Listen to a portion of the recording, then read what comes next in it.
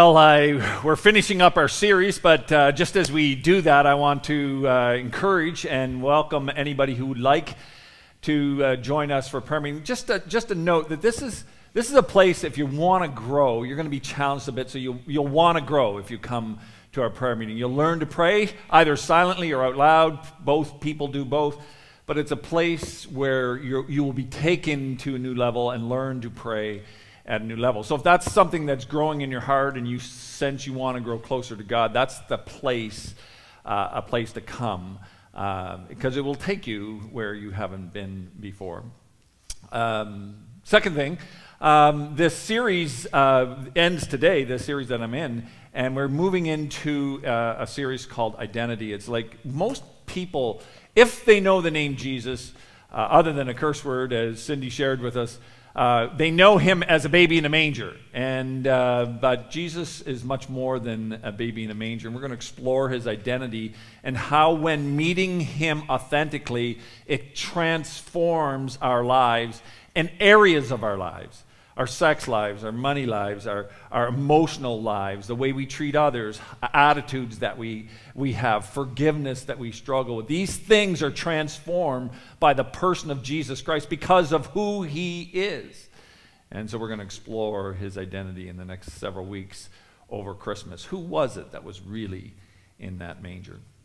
But for now, we're going to finish uh, Me for We, uh, the series, that brief series that we've been doing. Uh, we believe that God is leading us as a church over the next six, seven years to double our impact and to complete the building that we are in that was started almost 15 years ago.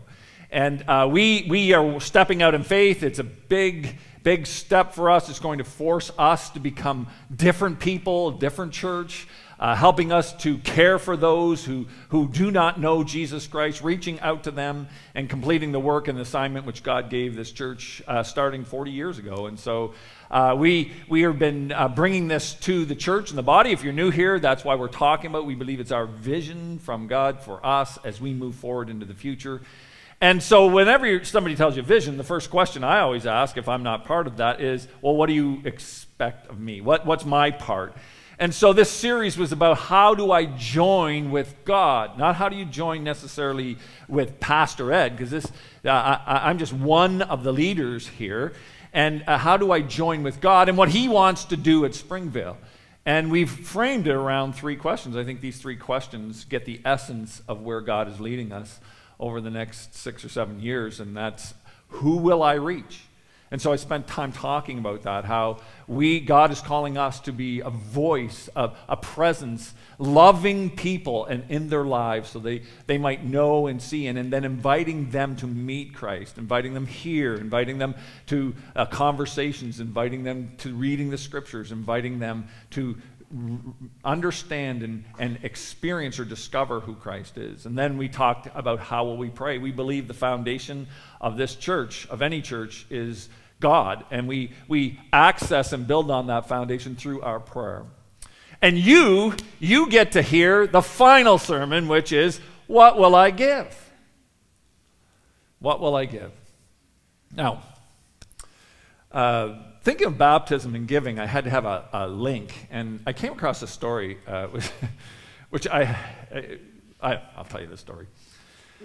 So, uh, in the medieval church, so we're talking centuries ago, uh, Europe was a pretty wild place, and uh, there wasn't a lot of law, uh, and so different areas would have uh, bands or standing armies that would protect them. And the churches were no different. The churches would hire mercenaries to protect their land and protect their people, and sometimes to fight battles that would where brigands or armies or smaller groups of armies would come and try to take over and rob. And so they would hire mercenaries and and some of the mercenaries that were for hire were tribes were the the wild tribes, the the unchristian tribes that were around them and they would hire their mercenary uh, them as mercenaries because they were such good fighters.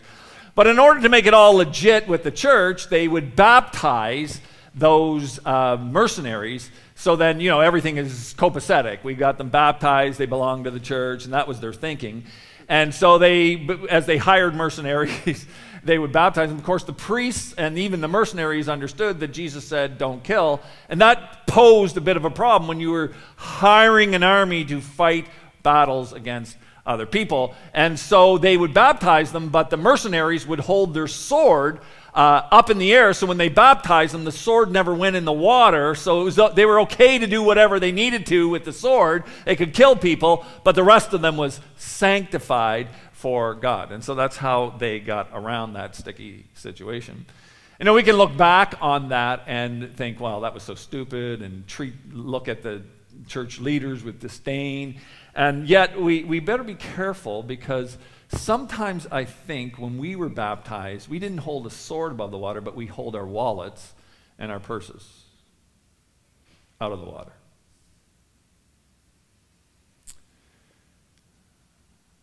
That's an area God has no influence or right to talk to me about. I'll do what I want with my purse or my money or my wallet, but the rest of me will belong to God. Now, if you're sitting here and uh, you don't go to church much, or uh, you, you're welcome, I'm, we're glad you're here, but I, I'm just trying to think of if you're a visitor, even if you come to this church, you're thinking, oh, the church talking about money again? I mean, what is this? They took two offerings. Man, these guys are hung up on money. it just, can you talk about something else? Why is the church always talk about money? Well, actually, the truth is, if you came here 52 weeks a year, you would discover we don't really talk about money that much. Uh, in fact, I think we should talk about it more for the very simple reason that money, in Jesus' mind, money was the number one thing that drew people to hell and st- stagnates them in their journey and walk with God. Money. And so, not talking about money as a church is like a parent of a teenager not talking about sex as their teen goes into a sexually charged environment and has to make decisions that are life impacting and withholding that talk from the teen. Seems kind of dumb, doesn't it? And so, for us not to talk about the one thing that draws people's hearts away from God the most would be irresponsible. I think I should talk about it more.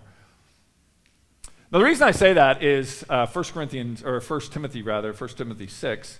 This is what Paul wrote Godliness with contentment is great gain. For we brought nothing into the world, and we can take what? Nothing out of it. Which is true, really. You think about it, you come into the world naked, and you leave it pretty well that way. But if we have food and clothing, we will learn to be content with that. Now, watch this. Those who want. Now, the, the, this is the desire. It's not, he's not saying those who have, those who set their focus in their heart on becoming rich fall into a temptation and a trap and into many foolish and harmful desires that plunge people into ruin and destruction.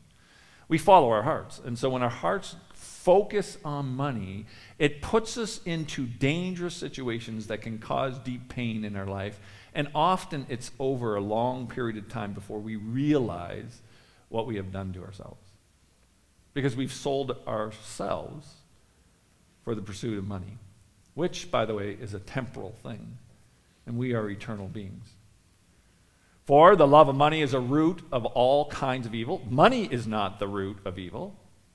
The love of money causes all kinds of evil in our thinking in our words, in our actions.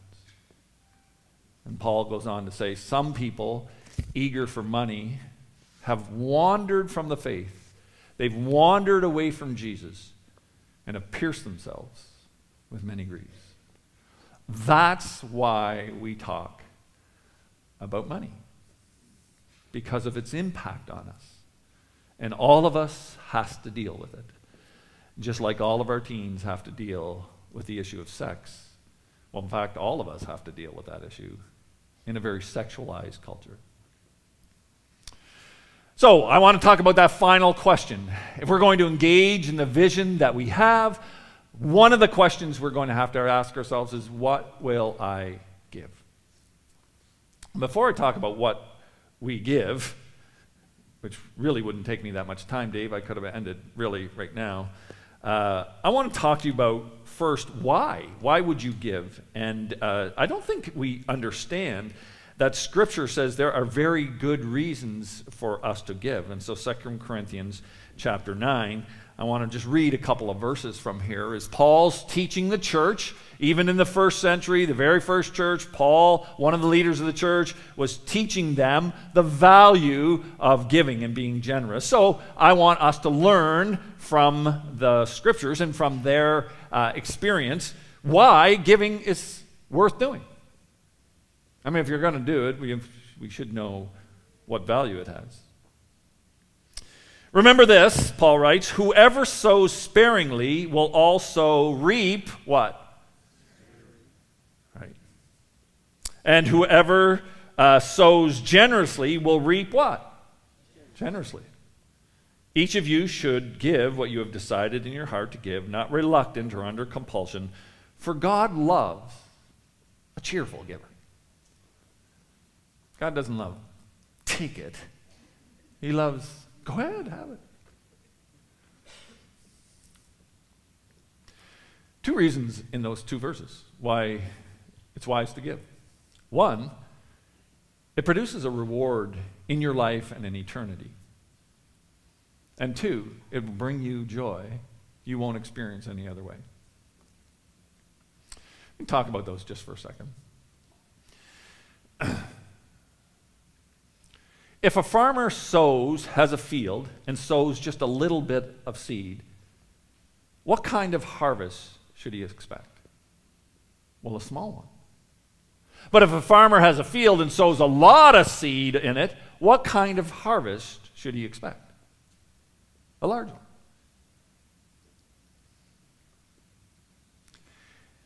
Sowing with our money is a, an act of eternal generosity. And what do I mean by this? This is the words of Jesus. When he's, by the way, the Bible talks about money all over, so you, you can find all kinds of different verses. It's, it's very good in teaching us on this area. But Matthew chapter 6, let's see Matthew 6. Jesus speaking. Do not, now this is the, the advice of Jesus to those of us who live in this world. Don't store up for yourselves treasures on earth why? Because moth and rust destroy them and thieves break in and steal. In other words, it's just a poetic way of saying that the, the, the, the, the riches that we have here, they end. They, they don't go with us into eternity. When we pass from here, they, they don't follow us. They, they, they don't even last our whole time here. They, they, they can get consumed and lost and used up. Instead, store up for yourself treasures in heaven where moths and vermin do not destroy and where thieves do not break and steal. So instead, use the financial resources you have here to in, invest in heaven. To invest in heaven. To invest in eternity. Instead of spending your money on things that will be used up and are temporary, instead use some of it to invest in things that are eternal and bring a reward.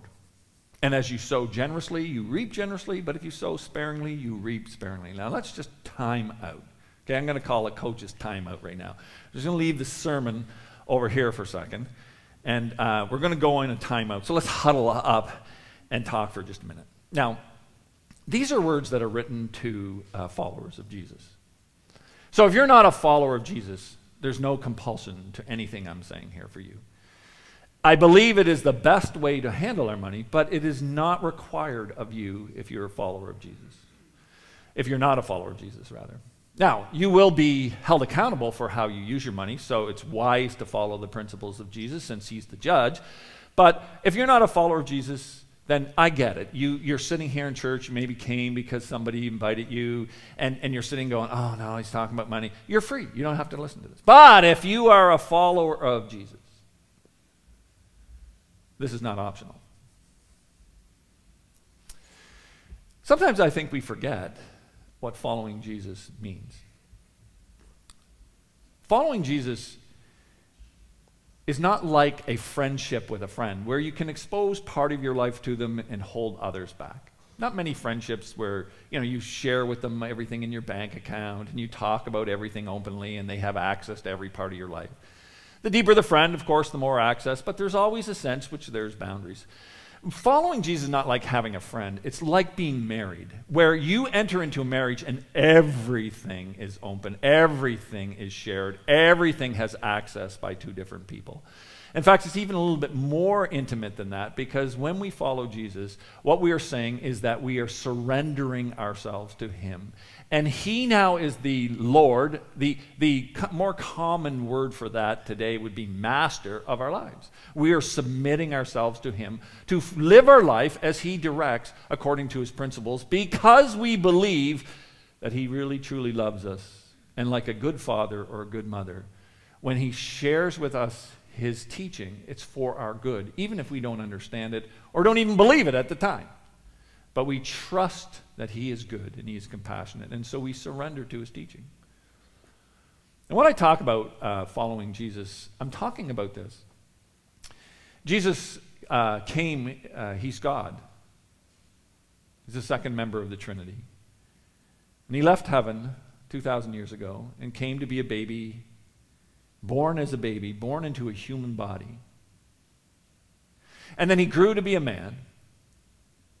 And then he went to a cross to die, but not because he deserved the death, but because we did. And he took our place on the cross. And because he's God and infinite, he was able to take the sins of all mankind and suffer the punishment and the result or the consequences of our sin. And he rose three days later. This is the teaching of Scripture. He rose three days later and he said, Now, for anyone who wants to be reconciled with God, you heard the stories of those three people, how they each came in different paths, but they all came to Jesus. And through him received the forgiveness of sins and eternal life when they put their faith in him, when they surrendered their lives to him, when they chose to follow him. We use different terms to describe it, but in essence, it's the surrendering of your life and believing that his death and his resurrection pays for your sins, reconciles you to God, and then surrendering yourself. I believe. I'm yours. So if you haven't made that decision, that is the starting point of a walk with Jesus, of the forgiveness of sins with God, and of eternity being placed in your heart. Because God comes, when we put our faith in Him, He comes within us puts his own spirit within us to change us from the inside out. And one of the areas that he works is this area our money. Because he doesn't want us to wander from him or from heaven. And he wants us to benefit and live full lives that will be full, not necessarily the way we view life here, but when we stand in eternity and look back and go, wow, I never realized that generosity shaped me so much and prepared an eternity, a harvest in eternity for me. And so he tells us that ahead of time. Those that sow sparingly reap sparingly, and those that sow generously reap generously. And that is one good reason to give. Another good reason to give is he says here in this next verse each of you should decide, or each of you should give what you decide in your heart to give, not reluctantly, like, oh, I have to give. So if you feel pressure to give, then stop giving. Because God's looking for you to give from your heart. Now, when, when he says here, uh, decide what to give in your heart. He doesn't mean, well, whatever I feel like, I'll give today. That's not the, the, the intent of those verses. That's not what Paul's saying. Paul is saying you need to sit down and you need to go through scriptures. You need to pray and seek God, talk to other people that understand this, and then make a decision about what you believe God is calling you to give. And then be faithful and persistent in that giving.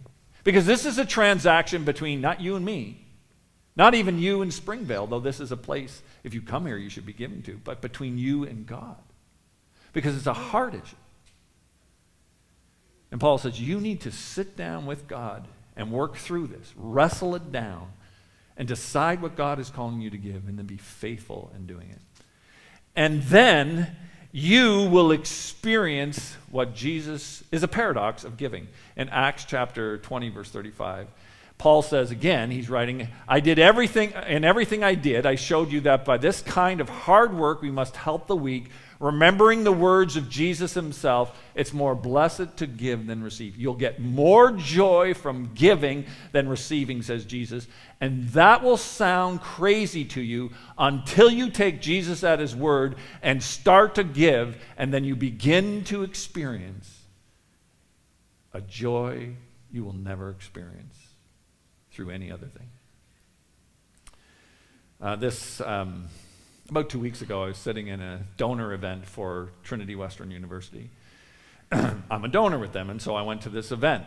And so they were, they were just sharing their plans, where they're going in the future, and then sharing with us uh, some, uh, they wanted us to hear the impact that it's having on the lives of some particular people. And there was this young girl from the Hamilton area that got up she had just, well, she was a woman, she had just graduated from her bachelor, undergrad degree, and she was sharing with us her story.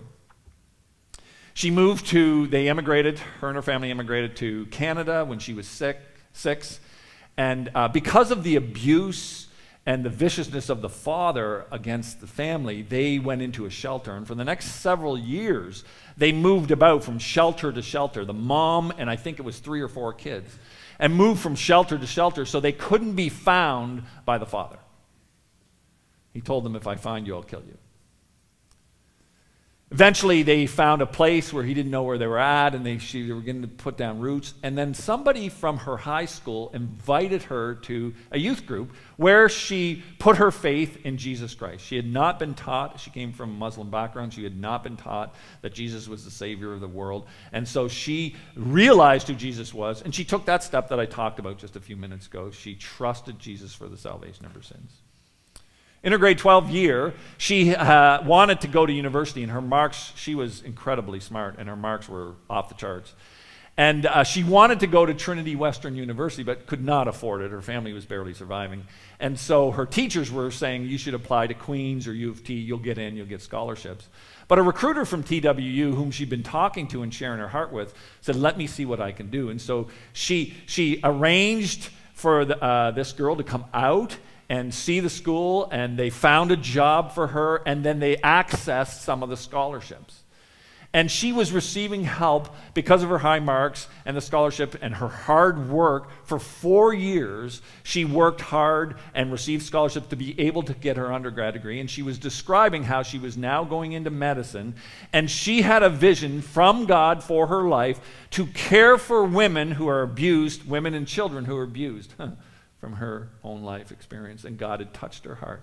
And she, she, she was reading it, and she looked up at all of us that were sitting there, and she said to us, It is because of your generosity that I was able to go to this school and hear God's vision for my life, and I cannot thank you enough. And I was sitting in the crowd, and I'm a donor to that, uh, that scholarship fund, and do you know what I was thinking? Every dollar was worth what I gave. I was, I had a, a joy that I could have been part of touching this woman's life because of how God had blessed me and I was able to give. There's nothing like the joy that comes with generosity. So that's why Paul says, hey, you know why you give? You give because it creates a harvest in eternity for you. And you give because it gives you a joy as you walk with Jesus and live like he did. So I was thinking about this. Well, why don't we give? Well, we don't give because we're fearful, I think. I'm afraid. I'm afraid. Well, what if a crisis comes? And, and how will I meet my bills? And how am I going to find that extra money to give? And where's it going to come from? What, what about my kids? I won't be able to take them on a trip. I won't be able to help them with school. I won't be able to help them with their what. And, and then we start fearful about, about, about what could come into our lives. And we're afraid of, of, of not having enough if we give because we're living so tight as it is. Or we're just selfish, like no, I, I, I want what I want. I would rather honor myself than God. And so these things that I want in my life, not the things I need, the things that I want, they're more important than obeying God. And I think Paul was, was kind of thinking of that when he uh, wrote the next verses. He said, God is able to bless you abundantly, so that in all things, at all times, having all that you need, you will abound in every good work. What did he just say? He just said, God is able to give you whatever you need, so that when you face a need, he will provide for you. When you are generous. Remember, that's the context here. As you give generously, God will take care of you. Whenever you have a need, He will ensure that that need is met. As it is written, they have freely scattered their gifts to the poor, their righteousness endures forever. It's a quote from the Old Testament, meaning as people were generously giving, others saw in them God. Their righteousness was revealed in their generosity. Their love for God was revealed as they gave gifts to the poor. Now, he, meaning God, who supplies seed to the sower and bread for all the food, will also supply and increase your store of seed and will enlarge the harvest in your righteousness. He's pulling from that metaphor that he used, right? You sow sparingly, you reap sparingly. Well, the God who, you know, in the metaphor, the farmer goes out and sows. Well, as you go out and sow the, with generosity the financial seed that you have in your life, God, is the one who provides it, will keep providing it. Not only that, he will increase your store of seed. He will even give you more and enlarge the harvest of your righteousness, picking up on that quote from the Old Testament. As you obey him and give, and God says, oh, okay, that person is faithful with what I give them. I'll give them more so they can give it. Not so you can live on it and increase your wants, but so that you can increase the, the opportunity to give and you can increase the harvest that God wants for your life and that which is eternally good. This is how God works. As you are faithful with what He gives you, He goes, hmm, I can trust that person. I'll increase them more. You'll be enriched in every way. Why? So that you can be generous on every occasion. And through us, your generosity will result in thanksgiving to God. This is how God works. As you are generous, He goes, hmm, I can trust that person. I'll give them a little bit more.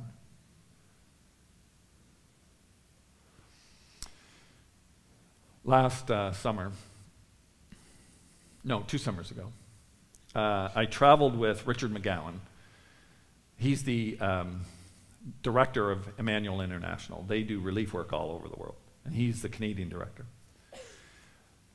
so Richard and I went to Africa, and then on our return, we stopped in London, and his wife Pam and my wife Crystal joined us in London. So the four of us were there.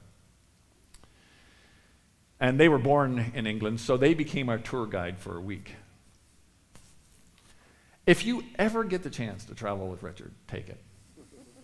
It was the best trip with him and Pam. I have never laughed so much or talked about such great things. It was like we were laughing our guts out or we were deeply talking about important life-changing things. Like we were, we were all over the map and, and they took us ever, I don't know where half the places we went, but they took us and it was the best holiday. And even in Africa with Richard, it was the most enlightening trip I've ever. So you can go with EI on their short-term mission trips. I highly recommend any short-term mission trip, but really recommend it with Richard. Although there are other good ones that are out there. So we were uh, headed to Bletchley Park. You may be familiar with Bletchley Park. That's where they cracked the code for Enigma. It's the Imitation Game was the, the movie with um, um, uh, Cumberbatch. And uh, that's, that mansion was called Bletchley Park. And so we were driving there in the car, and Richard turned to me and uh, said to me, I guess he turned to me because he's driving in England, so he's on this side, not on this side. So he turned to me and he said, We were talking about the vision for the church. It was just fresh and just coming out. And he said, Well, okay, you're, you're talking about finishing the building and, and, and reaching out to them. What, what do you think would be a cost? I said, I have no idea what the cost would be, but I got to think it's going to be north of four or five million. And I said, but I don't really know. We, we haven't priced it out. We'll, we'll know that when we, we move forward through, but I, it's not going to be cheap. And he said to me, he, he looked in the rearview mirror and said to Pam, we can give 1% to that. And Pam goes, yeah, I don't see why not. In 15 seconds, they had made a commitment for forty to $50,000. 15 seconds. That would have taken me a little longer than 15 seconds. Now, here's why this, I'm telling you this story. Richard makes a dollar a year. I think he's overpaid personally, but uh, he went to EI when they were suffering financially, and uh, God had taken care of them through their life, and he said, I'll come to work for a dollar a year. Now, their income combined, Pam and his income, they give away more money each year than they make. Well, that's a quick trip into bankruptcy. But not with them. See, as I was, like, I knew the background of the story. I'm like, how are you going to commit to that kind of money? And if you are around Richard and Pam for very long, you will see they have a deep love for giving. They get a kick out of giving. And they have done it for so long, and God has been so faithful that now they actually give away more than they make. I don't know how they do it. Well, yes, they do, because He'll tell you how He does it. They do it because he goes, We know God is going to bless us and give us income from where and money from where we don't even know where it's coming from. So we just make commitments and then God gives us the money and we give to the commitments. And so we know that if that's what the church is calling us to do and be a part of that, we're going to make this commitment. And even though I don't even have the money, I know God will provide it and we'll just give it when it comes in.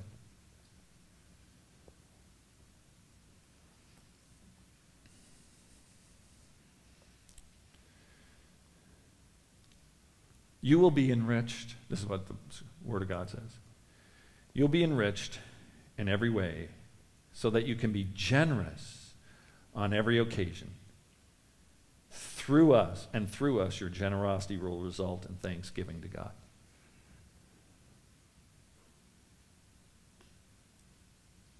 There's a whole world here that when we have the faith to enter, we experience God's presence and His provision in a way that's really almost unbelievable. God is saying, trust me with this. Figure out what it is you need to give. Sit down with the scriptures. Pray. Ask other people what scriptures apply to this. And settle with yourself or you and your spouse, settle before God what it is you think He would have you give. And then be faithful in doing it, and then watch God work in your life.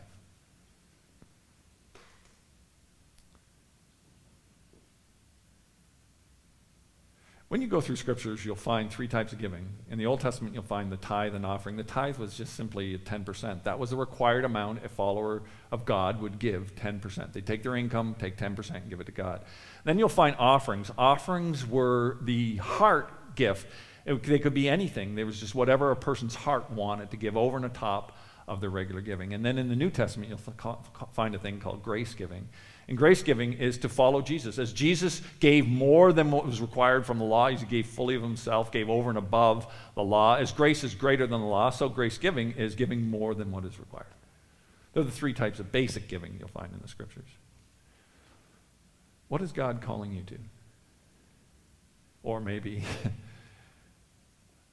what are you, what have you settled with God where you're going with this? This is about a relationship with God and taking what is very important to us and what shapes our life and trusting Him with it, and so thereby growing in your love and your experience of God.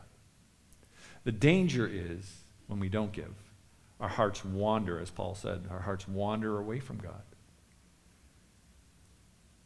It's potential when we focus our hearts on what we can get now and use for ourselves is we wander away from God and wander from eternity.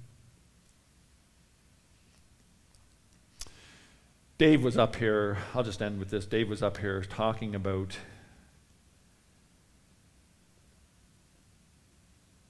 uh, Christmas offering. You want an opportunity to begin to say, God, I'm going to give, would you consider our Christmas offering?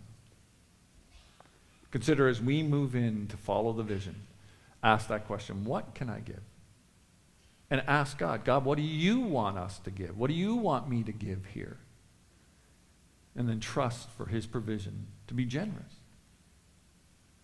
It will grow your heart for God in a way that few other things do. But it does take faith. Would you bow your head with me? Jesus, I know that this topic can be offensive to some people. I know that it can cause us to struggle. Uh, it cuts into our everyday working. And so, as uh, we just bow our heads before you, I want to thank you for your grace to us.